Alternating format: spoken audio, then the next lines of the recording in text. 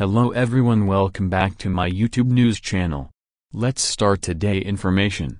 In the continuation of the developments in Iraq's financial landscape, Governor Alaq's statement about no restrictions on Iraqi funds abroad has generated optimism among investors and citizens. The international community has been eagerly anticipating updates on Iraq's economic future, and recent reports suggest significant changes may be imminent.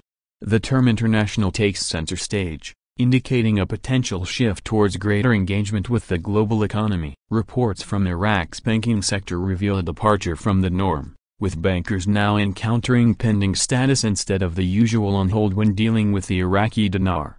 The significance of this change is uncertain, raising questions about whether it's a preliminary test or the long-awaited moment of revaluation adding to the intrigue are divergent rates displayed by different banks, ranging from $4.50 to $460 on the dinar. The lack of uniformity raises speculation about the nature of these rates so whether indicative of a trial run or the actual revaluation. Amid this uncertainty, rumors suggest a crucial phase of testing lower denominations in the new exchange rate has begun starting in the Kurdistan region. This strategic move may gauge public response before nationwide implementation. The introduction of new lower notes is likened to vibrant colors, serving as a visual cue for citizens, signaling the impending release of the currency.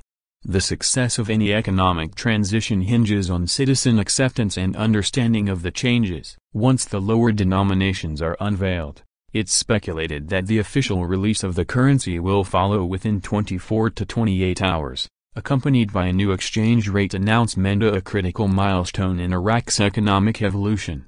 While signs of change emerge, it's crucial to approach the current situation with a measured perspective. The reported activities within Iraq's banking sector, coupled with statements from the central bank governor, indicate a pivotal moment on the horizon. However, until these changes manifest in everyday transactions, the true impact remains speculative. Thanks for watching and subscribe for more information.